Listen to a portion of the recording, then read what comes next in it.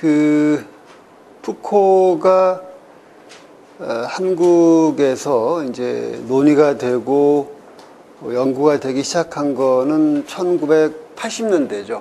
80년대.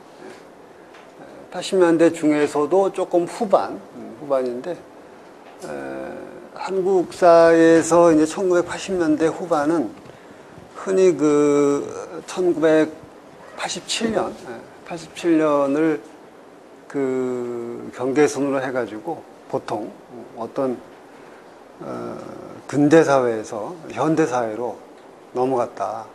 근데 물론 그 어, 역사라고 하는 거는 그렇게 그 쉽게 단절되는 게 아니고 또 이게 연도를 딱 어, 짠다는 것 자체가 상당히 무리한 발상일 수도 있겠지만 음, 어쨌든 음, 만약에 우리가 굳이 조금 억지로 어떤 그, 그 기준을 세운다면은 아, 1987년 6월 항쟁을 그 어떤 하나의 이벤트로 해서 어, 한국 사회가 이제 전형적인 그 산업 사회적 그 근대성의 사회에서 어, 후기 산업 사회적인 어, 현대성의 사회로 넘어왔다고 일단은 그렇게 이야기를 할 수가 있겠죠. 그런데 어, 한국만이 아니라 이제 다른 지역도 마찬가지겠지만 그 20세기, 19세기 때부터 아마 그렇게 이제 봐야 될 것 같은데 19세기 이래에 에, 세계사를 이렇게 이끌어온 그 중심 세력은 이제 유럽 그리고 나중에 이제 미국이고 그리고 어, 사상에서도 마찬가지여서 어, 19세기 이래에 어떤 그 시대를 읽고 개념을 만들어내고 이론을 어, 구상하고 하는 이제 그런 식의 또 영향을 끼치고 하는 그런 담론이 어, 서구에서 상당히 많이 이제 배출이 되죠. 배출이 되고 어 그리고 20세기는 그 마치 어, 고대의 이제 그리스 아테네라고 하는 아주 작은 그 도시에 있던 그 사람들의 생각이 지중해 세계에 퍼져나가듯이 어, 유럽이라고 하는 지역의 생각이 어, 유럽 비유럽적인 그런 지역들에 이제 계속 퍼져 나갔죠. 어, 나가고 어, 그거는 어, 양면성인데 하나는 그 어, 일종의 제국주의를 통해 가지고 유럽이 그 비유럽 국가들을 이렇게 정복을 하면서 정복하면서 이제 그 자기네들의 어떤 종교나 학문이나 그 문화를 거기다 이식을 시키죠, 이렇게 그죠? 그래서 이제 그런 식의 어떤 정치적인 그, 어, 그 뭐라 그럴까 아, 강요 내지는 그 이식이라는 측면이 있고 두 번째는 또 꼭 꼭 그 측면이 아니라 하더라도 하더라도 이제 19세기 이래에 에, 그 학문과 예술의 어떤 굉장히 풍요로운 거를 만들어낸 것이 유럽이라는 것도 그것도 사실이고 또. 예. 그래서 이제 에, 그 비유럽 지역 사람들이 거기에 많이 매료가 됐죠. 그러니까 이제 어, 양면적이죠. 제국주의를 통한 어떤 뭐랄까 이렇게 저 그 퍼트리는 거 플러스 그 사람 자신들이 이렇게 그거를 저 좋아서 이렇게 받아들이는 그런 그런 게 이제 굉장히 이렇게 복잡하게 아주 아주 복잡하게 얽히게 되죠. 그래서 어, 한국사도 마찬가지예요. 한국사도 이제 똑같은 그 과정을 겪었는데 한국 같은 경우는 그, 그 대원군의 그, 이 폐쇄 세국 정책 같은 거라든가 여러 가지 요인을 말미암아 가지고 이제 그런 흐름에 굉장히 늦게 합류를 하게 되죠. 늦게 합류하게 되고, 어, 그 유럽적인 사고들, 유럽적인 어떤, 또 때로는 미국적인, 이제 그런 어떤 그 사조들을 어, 직접 받아들이 있다라기보다는 이제 일본을 통해서 일본을 경유해서 이렇게 이제 그거를 어, 받아들이게 되죠. 어, 그래서 보통 우리의 그 지적인 개념들이나 많은 것들이 이제 그 일본 우리가 지금 쓰고 있는 뭐 여기 나오는 어떤 이런 이론적인 언어의 90% 이상이 다 이게 일본 사람이 번역한 거죠. 자유 뭐 할 거 없이 하여튼 뭐 예를, 예를 들 것도 없이 다 거의 다 개념 개념어들은 뭐 거의 거의 뭐 일본 사람들 번역한 거, 건축 이런 것도 그거 다 번역. 우리 원래 없던 말이에요, 전부 다. 어, 그래서 한국의 이제 20세기의 그 사상사라고 하는 거는 어, 한국 자체의 맥락 속에서만 이해되기는 어렵고 어, 좋든 싫든 간에 그 서구적인 맥락과 일본적인 맥락을 같이 이렇게 엮어서 어, 그 연루돼 가지고 이야기할 수밖에 없죠. 한국 사라, 사라, 사상사는. 그래서 그, 그 중에서 이제 철학의 좁게 말하면 철학, 넓게 말하면 사상인데, 철학 사상에다가 에, 초점을 좀 이렇게 좁혀보면은 그 20 세기 전반, 그러니까 일제시대죠. 일제시대 같은 경우는 그 맨 처음에 배운 게 이제 자유주의 사상들을 이제 배웠고, 루소라든가 뭐, 또는 미국의 주의라든가 이런 걸 배웠고, 그 다음에 등장한 게 이제 칸트 해결의 그 독일 간영론을 배웠고, 그 다음에 전쟁 이후에, 그러니까 그 6.25 사변 그 이후에는 실존주의를 많이 이제 배웠죠. 어. 그 굉장히 그 상황이 암울하고 하니까. 그리고, 어, 박정희가 등장해가지고 이제 이렇게 굉장히 뭐랄까 그 이 개발 독재로 이렇게 들어설 적에는 어, 보통 그 서양의 어떤 근대성, 전형적인 그 일종의 그 모더니티 그 문명, 그거를 이제, 에, 그러니까 내가 그 여러분만 할 때는 여러분보다 더, 더 어렵구나. 더, 더 어렸을 적에는 맨날 이게 입만 열면 근대화하거든, 근대화. 근대화 해야 한다. 이게 아니고, 입만 열면 근대화, 근대화만 하면 마치 인간이 다 이제 다 행복해지고 모든 그 우리가 그 저 가난에서 벗어나고 이제 이런, 그 어, 분위기였죠. 어, 그러니까 새마을 운동도 하고 막 그랬지.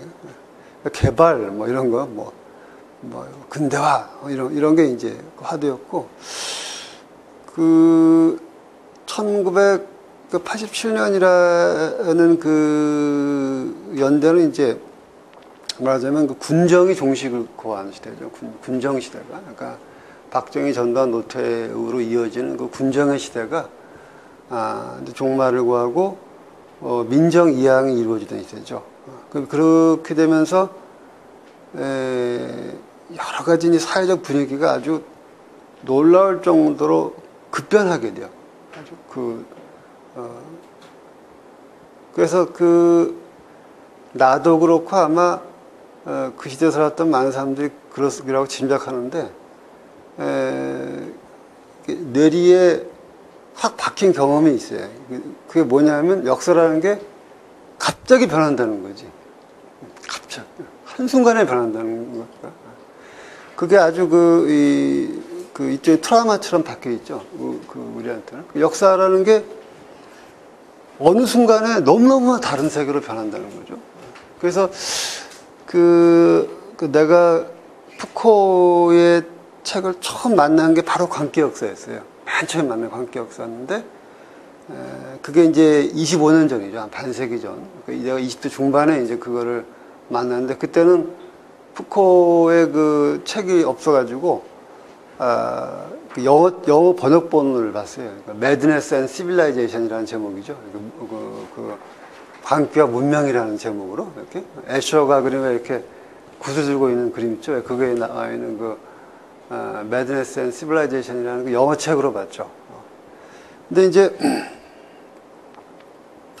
어, 그때의 경험이라는 게 참 굉장히 나한테는 아주 중요한 경험이었던 것 같아요. 그러니까 그게 그러니까 어, 80 어, 그러니까 80년대 중반이지 그러니까? 그러니까 그, 그 어떤 시대가 변할 때 그, 그때 이제 그 광기 역사를 처음 봤는데 아 내가 그때까지 쭉 배워왔던 그 어떤 그 철학과라고 하는 그 공간에서 계속 배워왔던 그런 어, 여러 가지 이제 계통의 사상들하고는 어, 사용 그 하는 어휘라든가 또 사고 방식이라든가 뭐 어, 담고 있는 함축이 너무너무 달라가지고 그 굉장히 충격을 받았고 내가 받았고 그 이게 아니 글쓰기 아 글쓰기를 이렇게 할 수도 있구나. 그러니까 그러니까 어떤 아카데믹한 그 논문 형식에 익숙해 있고 그거를 굉장히 이렇게 뭐랄까 강박적으로 그 이 주입을 받았던 나한테는 이 사람의 글쓰기라는 게 너무나 참신하고 좋았고 그리고 어, 한 가지 또 인상 깊었던 거는 그, 그, 그, 그 분과화된 방식으로 공부하던 거하고 너무 다르다는 거죠. 그러니까 이게 뭐 이게 역사인지 서학인지 뭐 철학인지 뭐 정치학인지 그 그게 에, 정체불명이라는 거지. 그게 굉장히 헤터로지니어스라는 그런 어떤 그 그런 게 이제 그런 몇 가지가 굉장히 내 내리 바뀌었고 어, 어찌 보면 거의 뭐 그 내 사상은 말할 것도 없고 인생을 이렇게 바꿨 다고 얘기해도 크게 과장, 과장은 아닐 것 같은 그런 그 책이죠. 그래서 나한테 참 의미 있는 책이고 마침 올해가 그 이 관계 역사가 발간된 이제 반세기 50년이 딱 지났죠. 이게 61년, 60년인가 61년인가에 발간됐었는데 마침 그, 그 반세기 이제 어찌 보면 50주년 뭐 기념 강연의 성격을 띠고 있다고도 볼 수 있는데 어, 또 이거를 좀 이렇게 되돌아볼 시간도 된 것 같고 어느 정도 이렇게 거리 두기가 좀 가능한 이제 그런 시간이 좀 된 것 같기도 하고 어, 그래서 어, 오늘 이제 관계 역사를 한번 선택해 봤습니다. 음, 그러니까 그 시대 그 시대의 그, 그 사상적인 어떤 지형도에서 푸코라는 사람이 이렇게 가지고 있는 어떤 그 위상을 짚어볼 필요가 있는데, 어, 그 군정 시절, 그러니까 그 중에서도 이제 말기 좀 조금 뭐 그러니까 같은 군정이라 하더라도 60년대 분위기 또 다르고 70년 다르고 또 80년 또 다르거든요. 또 다르기 때문에 유신 이전 다르고 이전 또 이후 좀 다르고 어, 이제 다 다른데 또 광주 사태 이전 다르고 또 후 또 다르죠, 그죠? 그래서 에, 이제 그런 현실과 이게 사상이 맞물려 돌아가는데 에, 어쨌든 그 후반으로 갈수록 역시 그, 그 그때 사상의 가장 어, 중심을 차지하고 있었고 많은 사람에게 영향을 준 건 역시 마르크시즘이죠. 마르크시즘이 가장 그 근본적인 어떤 뭐랄까 그 사상의 추동력으로 작용을 했고 어 거의 뭐 약간 그때는 의식 있단 말 많이 썼어요. 의식 있다 이런 말좀 많이 썼는데 의식 있는 그 어, 대부분의 사람들이 다 마르크시스트라고 해도 어, 막 어, 과언이 아닐 정도로 어, 거의 뭐 어, 절대적인 이제 위상을 차지하고 있었고 그런데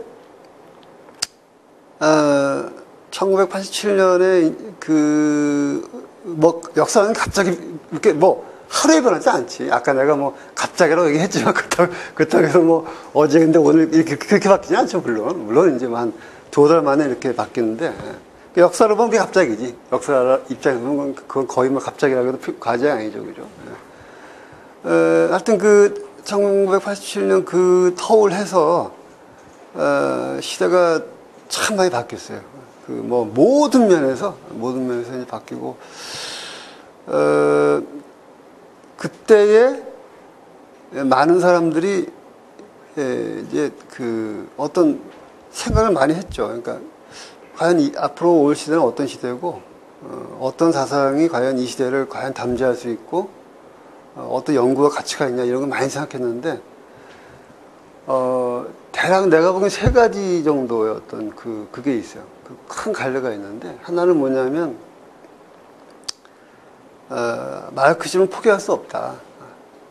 그거는 어떤 그 현대 사회가 가지고 있는 근본적인 모순을 그 포착하고 있는 것이고 어, 거기에 대한 어떤 명료한 대안을 제시하는 거기 때문에 에, 마크시즘을 포기할 수 없다. 이런 이제 이런 입장이 있죠. 그런 입장인데 에, 거기서 이제 그 이른바 NL과 PD라는 그 두 가지 입장이 굉장히 많이 격돌했어요.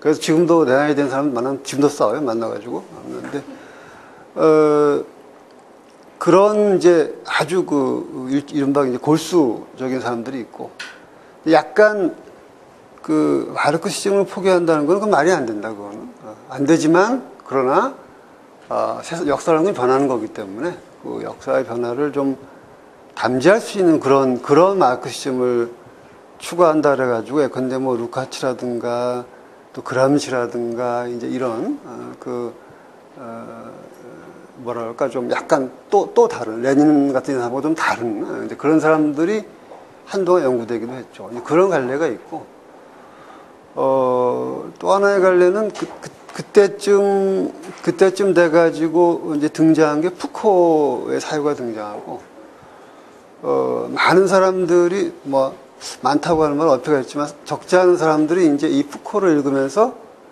자기가 그 80년대에 그 마르크시즘을 공부하면서 느꼈던 어떤 그 한계라 그럴까? 아, 이게 내 경험하고 뭐가 안 맞는다는 그런 식의 어떤 걸 갖고 있던 그 대목을 이제 이 사람에게서 뭔가 이렇게 채우려고 하는 사람도 있었죠.